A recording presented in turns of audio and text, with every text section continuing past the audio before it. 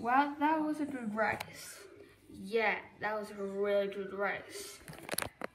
I know, like, horse number 23rd? Yeah, 23rd came first. Horse number 3 came second. And whoever wants the battery for horse number 12 came third.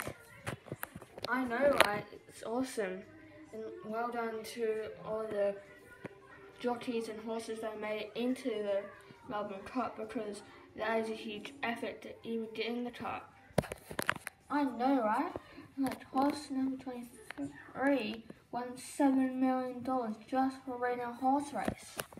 Yeah, that is real expensive. I know, right? Well, that was the Melbourne Cup, and I enjoyed it. My hubby was beaten so fast. Mine was too.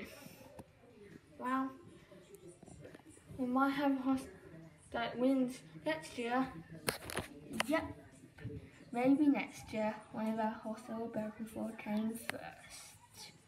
Oh, come second. Yeah, that'll be a challenge for next year. Yep. Definitely from next year.